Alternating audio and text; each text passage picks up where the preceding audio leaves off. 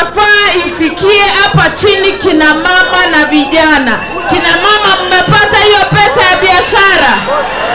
Vijana, mmepata hiyo pesa ya biashara?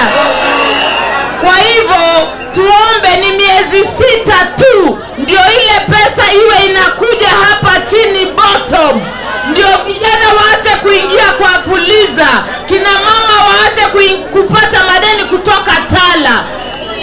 Tutasimama na mama kaunti ma, mama Omanga. Hebu nione kwa mkono wale wanasema tutasimama pamoja.